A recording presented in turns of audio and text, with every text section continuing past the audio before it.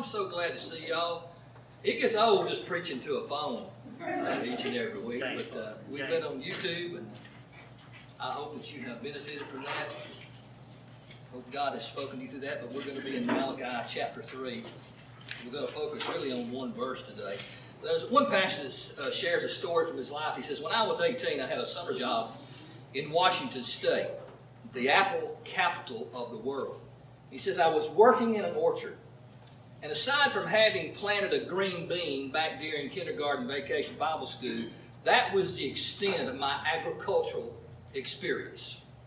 But it was a wonderful summer, said. I, I learned an entire lot, a, a lot of things. I spent a, my days moving the irrigation pipes to the next row of trees. I would help thin out clusters of the apples on, on each branch so that bigger fruit would have room to grow, and I would haul equipment from one place to the next. And part of my job description included driving a tractor, and he said, I really enjoyed that. It was a great job, and I loved every minute of it. However, he says, I want you to know that doing back-breaking work in the summer sun from sun up to sundown, six days a week, convinced me more than ever that I know I was called to preach. I, I can identify with that. He says, I most remember the transformation that I saw take place in that orchard throughout the season. And when I arrived in the spring, the trees had just begun to show signs of life. They were almost bare, with just leaves on the branches. But very soon there were little baby apples that appeared. They were small, they were green, and they were hard as, as pebbles. And as the summer began to wear on, he said the fruit began to grow and it began to ripen and it changed colors, uh, first to a pinkish rose and then with the early frost to a bright red color. And eventually the trees became so full that some of the branches came, uh, had to be propped up with sticks in order to keep them from breaking under the weight of those apples. They had become so heavy. And then he says, finally, the harvest came. And suddenly the fruit for which most of the season had been too bitter to eat, it was now ripe and it was ready to go. And there was a team of migrant workers and, and myself, and we would work all day. We would work well into the night. We picked thousands and thousands and thousands of apples, and we would gather them in these huge wooden barrels to be prepared to take to market. He said, later, after it was all over and I had finished my work experience, I remember thinking how the whole summer had been such a, a blind adventure for me. And along the way, I had no idea at that time what was happening why we were doing what we were doing until the harvest finally came. He said, but the orchard owner, he knew exactly what we were doing and why we were doing it. He knew all along that the harvest was coming. Everything he had done during that entire year had been done to get ready for the harvest. During the previous February, long before I was hired to work on the crew, he said, when the trees were still covered with snow, he had hired some day laborers and some, some teenagers from the local high school to come part-time, and, and they pruned the branch of each and every one of those trees so that they could bear more fruit.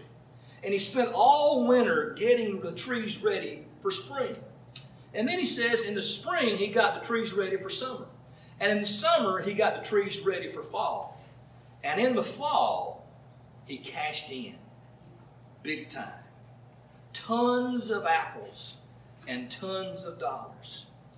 This pastor said when he was young that he, I, went to this uh, uh, apple orchard owner's house a few times, and all I could say is that over the years, the apple harvest had been very, very good to this man.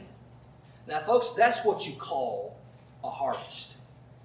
In the book of Galatians, and, we're going to reference that, but in the book of Galatians, Paul gives us a promise from God upon which you and I can base every day that we live. He says this in chapter 6, verse 9. Listen carefully. Let us not become weary in doing good, for at the proper time we will reap a harvest if we do not give up. You know, a lot of people are ready to give up today, aren't they? In the world in which we live. These words that Paul wrote apply to every one of us here this morning. You will reap a harvest if you don't give up. It doesn't matter what your situation is. Now, think about this. For some of us here this morning, it may seem like February. You know what I'm talking about? Where your branches are bare and they're covered with snow. And even what little that you have left keeps getting pruned away. You think, I don't think I can take any more losses in my life. I want you to know this morning, based on the authority of the Word of God, that the harvest is coming. Or you may be seeming like it's late August where your branches are, are just uh, about to break from all the weight of all of your responsibilities and all of your opportunities in life right now. Life is so busy. And sometimes you seem like you're just getting to the place of being absolutely overwhelmed.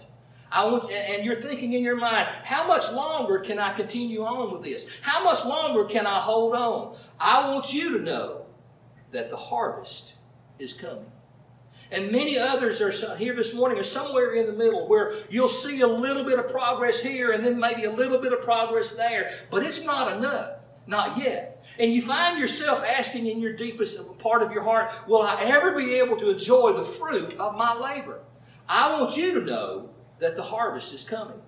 So no matter which season you're facing right now, the harvest is coming. And when I say the harvest is coming, I'm talking about the abundant blessing of God in every area of your life. So do not grow weary in well doing. And listen to me this morning, friend. Don't even think about giving up. Don't ever let that consider your mind, come across your mind, because the harvest is coming. God's word says that. We just need to make sure that we're prepared for it. So for this reason, this morning, we're beginning a new series entitled Ready for the Harvest. And this series is based on the principles of the law of the harvest that Paul talks about in Galatians 6. And it's also based on a message from the book of Malachi in chapter 3. And it has a, Malachi has a lot to say about getting ready to receive God's greatest blessings, the abundant living that we're talking about. So if you have your Bible, you've already done that, let's turn to Malachi. It's chapter 3. Malachi is the last book of the Old Testament. Malachi 3 is the next to the last chapter in the Old Testament. So if you can't find it, just go to Matthew and go back to the left a couple of pages. You'll find it there. Now, a little bit of a historical context. Malachi was written by the prophet Malachi. It was written a little more than 400 years before the birth of Christ. And if you've ever read Malachi, and I'm sure most of you have, it's a very serious book uh, in which it, we see several charges that Malachi makes against the people of Israel. Why is that? It's because they've been living in disobedience to the laws of God. They had not taken the sacrifices that they were to make very seriously. They had, had married uh, people from other nations and they had, had brought into the worship pagan gods into their families and into their cultures. You know what you call that today? Multiculturalism. When you bring other gods into your life. They had refused to pay their tithes. Very famous passage there in Matthew chapter, or Malachi chapter 3. A lot of preachers use that talking about tithing. They had also, think about this, they had also talked bad about God and disrespected Him. And yet they were always asking for God's help. But they still were too stubborn to change their ways. You know, that reminds me of another country that I'm pretty familiar with. You ever heard of it? It's called the United States of America, isn't it? We want God's blessings, but we don't want to be obedient to Him. We don't want to do it God's way. We want to live life without any kind of, of consequences. Just do whatever we want to do. But we want God to bless us. Friend, I got news for you. It doesn't work that way.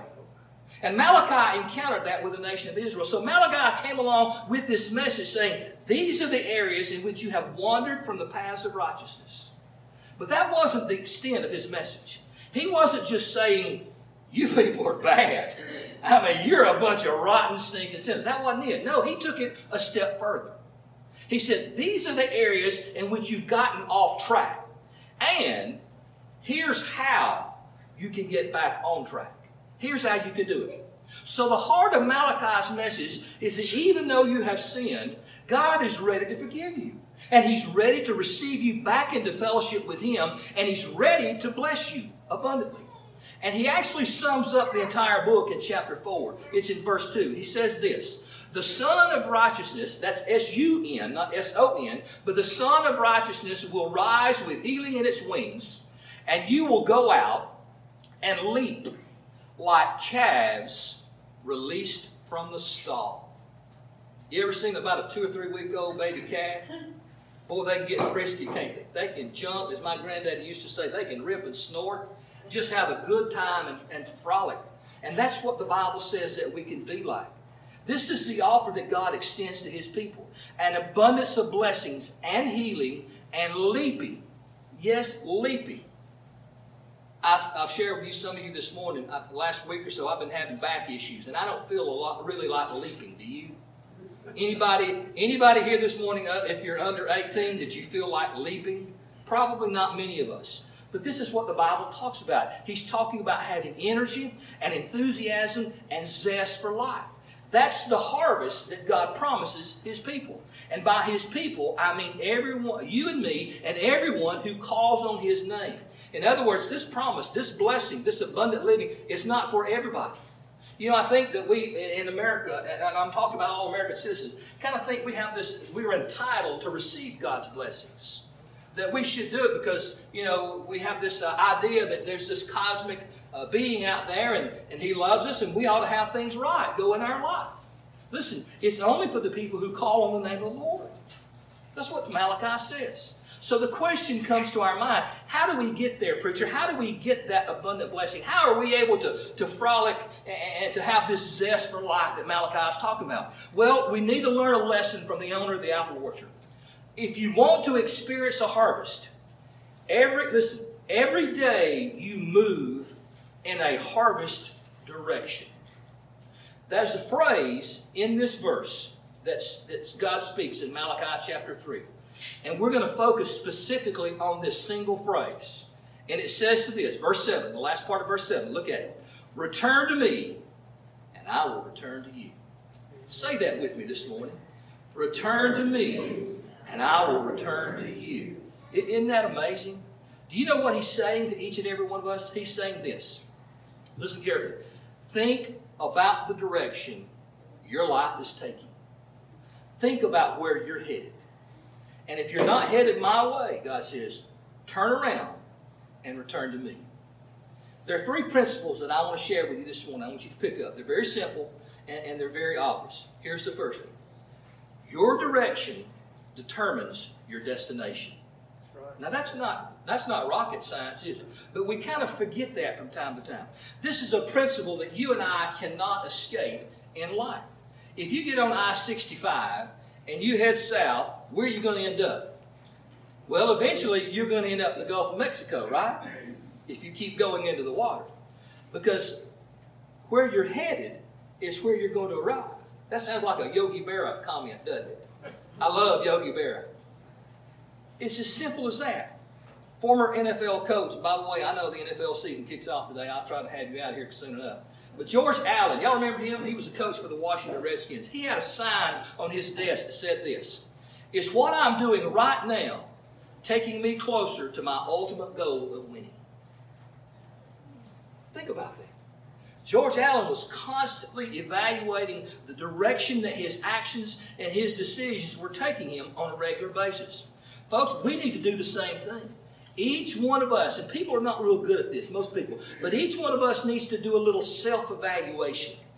Do you ever do that when you look in the mirror? You just look yourself gut level and eye to eye and do some self evaluation, critique yourself? We need to ask ourselves if I continue on the path I'm on, where will it take me? in my marriage, in my relationships, in my work, in my health, in my spiritual life, in my eternal destination. Based on my current direction, where am I headed? You know, speaking about our country, we need to do the same thing. Our country needs to say, where are we headed? Folks, I got to be honest with you. I don't like the looks of where we're headed right now as a nation. I, I don't like the ultimate destination. In the days of Malachi, the people of Israel were not moving in the, in the direction of a harvest blessing either. In fact, they were headed the opposite way. And God spoke to them. In the first part of verse 7, it says, Ever since the time of your forefathers, you have turned away from my decrees and have not kept them. Return to me. Oh, that we as a country would do that, that we would heed that warning. You see, direction determines destination. Thank God, though, you can change direction anytime you want. Even if you have been uh, going the wrong way for years and years and years, God say, "Come back to me. I, am waiting. I want you to come back to. Me. It's not too late. You can do it right now." Now, here's how this principle works for most Christians, and that's where I'll probably categorize uh, everybody here today. For many of us, It's not a matter of living in prolonged rebellion against God, right? I mean, we, we don't just turn our back on God. Instead, this is what happens it's a matter of taking one step forward, two steps back, or two steps forward and one step back. And we find ourselves in many areas of our lives wandering off the path time and time again. Maybe it's just for a day or two, or maybe it's just for a week or two. And the end result is that we're not moving consistently in the direction of God's harvest. That's the way it is for most of us.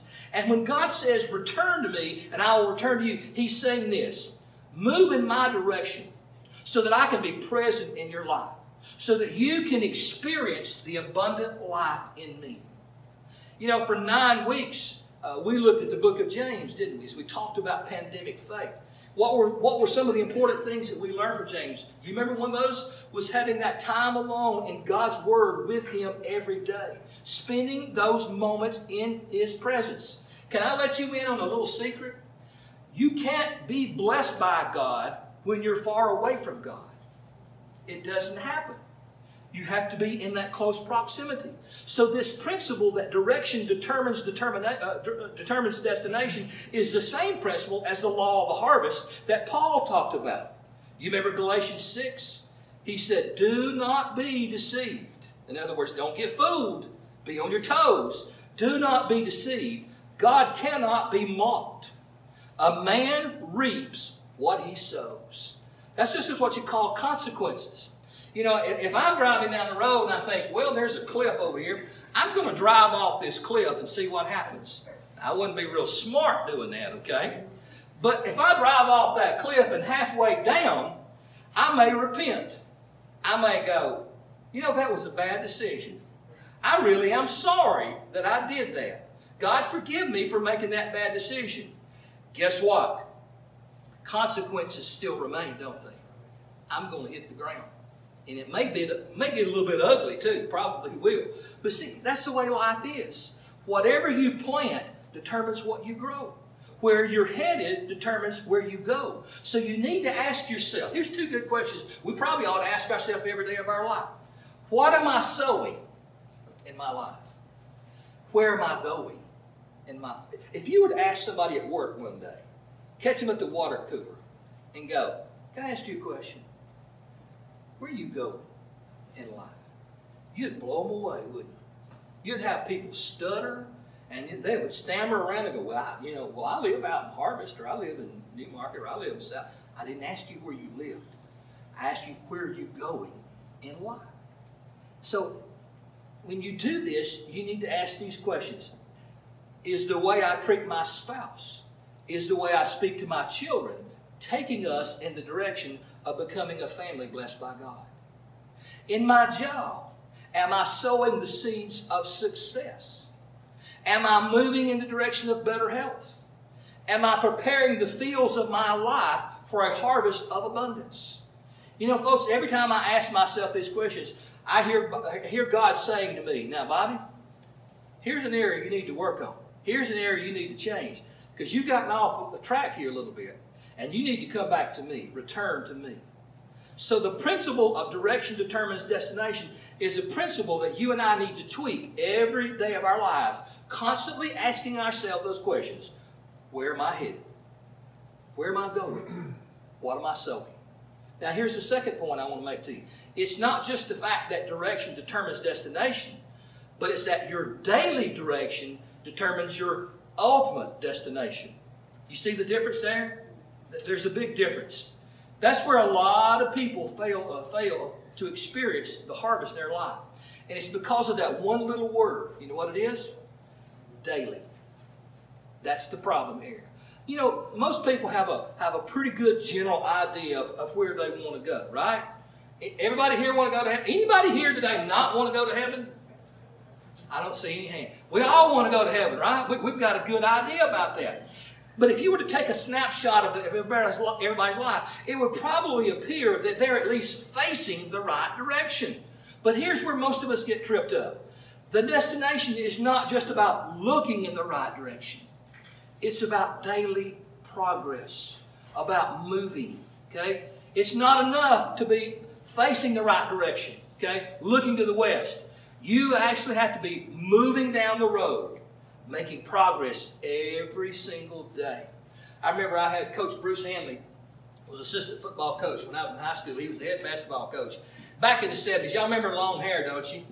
Boy, I remember those. I remember those days. Coach Hanley wore a flat top haircut. I mean, he was just like a, a, an army drill sergeant. But I tell you what, he was a motivator. And if a guy wasn't moving fast enough on the football field, he would go, Son, are you moving? He'd hold his thumb up to see if you were moving. He said, You need to get your armpits wet a little bit. In other words, you need to make some progress. You need to be moving in this right direction. It's not enough just to own a bunch of apple trees, folks. You got to work the fields. You got to get them ready. The apple harvest paid off big time for the apple orchard owner because every day of his life he moved in the direction of the harvest. He didn't just buy a hundred acre orchard and say, well, you know, probably in the fall those apples are going to start falling. It didn't happen that way. The apple uh, harvest paid off because every day of his life he moved in the direction of the harvest. He didn't work the fields just one day a week. He didn't wait until the middle of August and start pruning and irrigating in a mad scramble to try to get things ready for the last minute. Uh-uh. Mm-hmm. Every day of his life, he moved in the direction of the harvest. So for you and me, what we need to do in order to experience the harvest of blessing and abundance that God promises to his people is that we need to learn a lesson from Mr. Apple Orchard. And what is that lesson? We need to make sure that in every area of our lives, we're moving in God's direction. That's the secret. Not just one day a week, not just Sunday mornings at 10 o'clock, but on Mondays when you go to work and the guy cuts you off in traffic and you want to say something or you want to think something. or You want to have a, a, an ugly attitude toward that person. Listen, we are believers, we are followers of Christ 24 hours a day, seven days a week, whatever situation that we're in, folks. Every day of our lives, in every area of our lives, we're to move in God's direction. Let me ask you, do you want to be blessed in your marriage? Then move in the direction of a God centered marriage every day. Do you want to be healed? Do you want to be well? Then move in the direction of good health every day. Do you want to experience a harvest of financial uh, uh, uh abundance? Then every day move in the direction of better money management. Do you want to grow in your Christian life? Then every day spend time alone with God. As I mentioned earlier a while ago, we spent nine weeks in James, and one of the things we talked about was spending time with God. I hope you've taken advantage of this virus. I hope you've had more time to be in God's Word and a time of prayer every day. So the key phrase in all these things is this every day. Your daily direction determines your ultimate destination. If you're always moving one step forward and one step back, and one step to the right and one step to the left, guess what? You haven't made any progress. You're still at the same spot, right? And you will never arrive at your desired destination. But if you work the fields every day, if you're moving forward every day, then your harvest will come. Because that's why Paul says, let us not grow weary in what? Doing good. For at the proper time, we will reap a harvest if we do not give up. I've known so many people through the years who've walked an aisle in the church and even got dunked in the baptistry, and there was no change in their life. I mean, there were no fruit uh, that was revealed in their life of having a relationship with Jesus Christ. I, am not their judge. I'm just telling you what I've seen, what I've observed. But it's a matter of growing in Christ likeness every single day of our life. Now, there's one more aspect of this journey to the harvest principle that I want you to see today, okay? Then I'm going to turn you loose. Number three, you ready? Your ultimate destination is always a little bit closer than it used to be. Woo!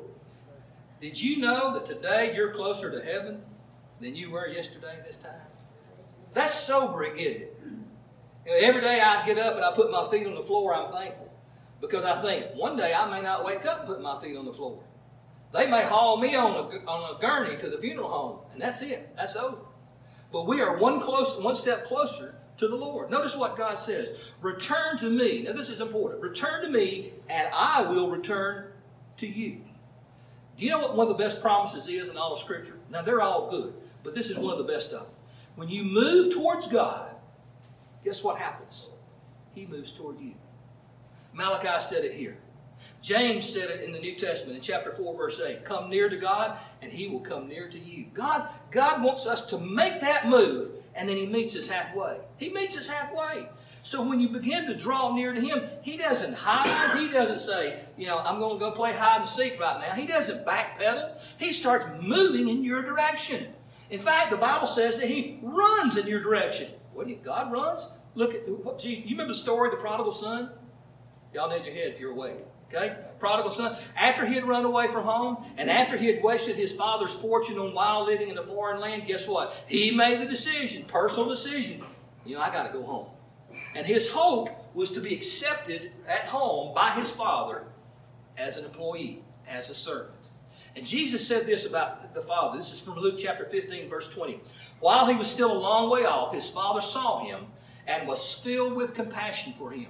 He ran to his son, threw his arms around him, and kissed him. Now, when children are small, when they're one or two years of age, they don't mind being kissed, do they? But when they're 13 to 14, oh, you bet mom and dad don't kiss them, especially in public. You know, that, that's humiliating. This father showered his love upon this wayward son. Folks, listen, we don't serve a God who that stands far off in the distance while we stumble our way back to him. We serve a God that meets us halfway. What a God he is. There, uh, one man shares a story. He says, I grew up in Oklahoma where we have a saying that if you don't like the weather, just wait five minutes. Probably a lot like here in Alabama, isn't it?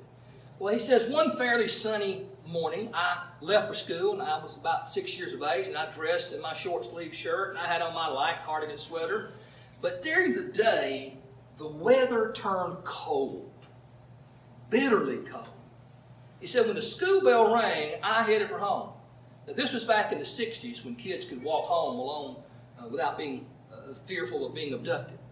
He says, it, I began the four block trek to my house and it was so cold. My hands felt like they were, were ice cubes. And then he admits this. He says, I'm not particularly proud of this part of the story, but I started to cry.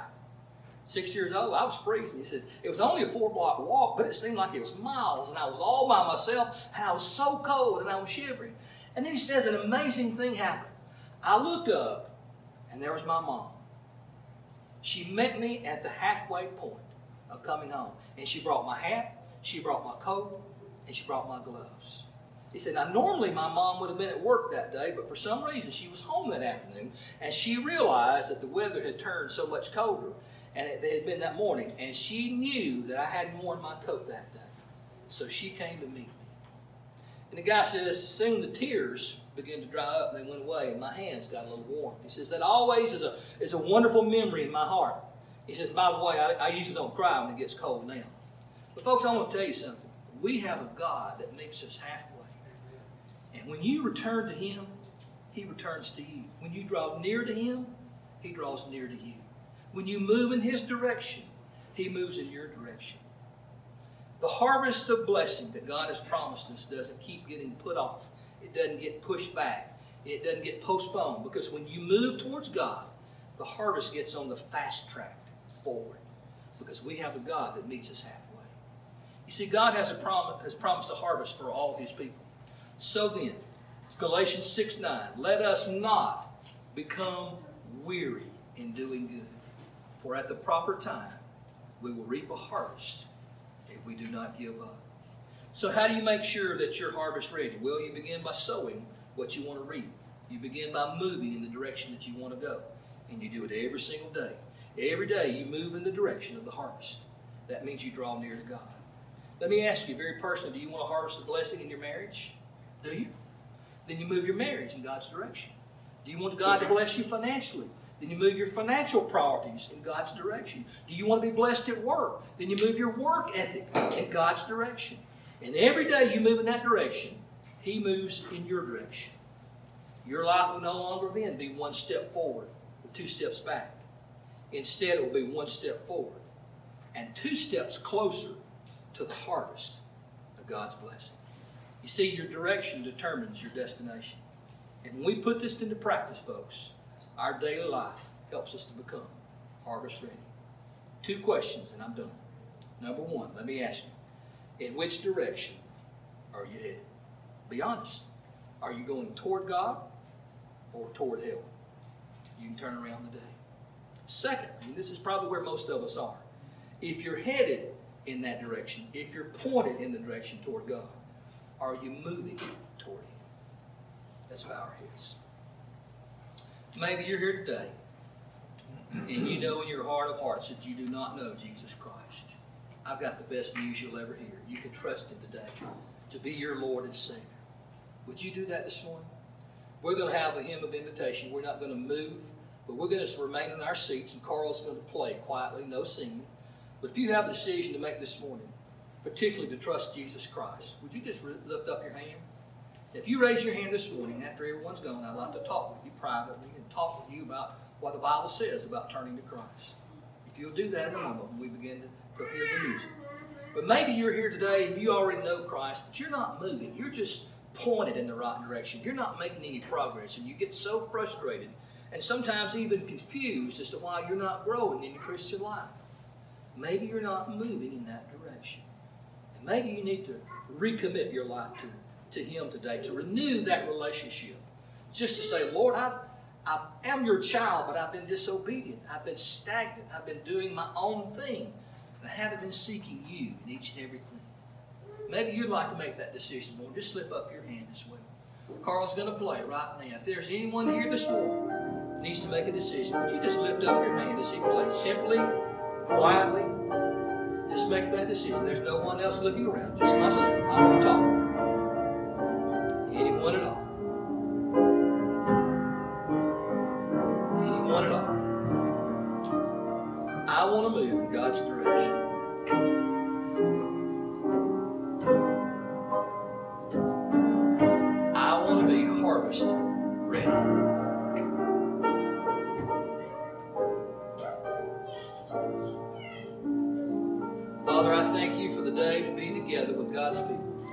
I pray that each and every one of us here this morning will be moving in that direction to be harvest ready.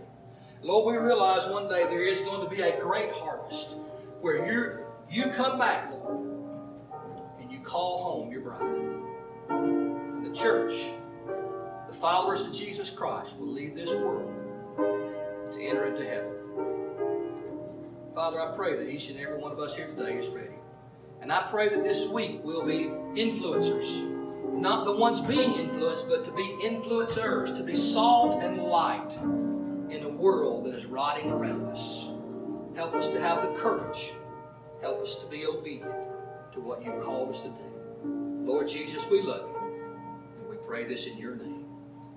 Amen.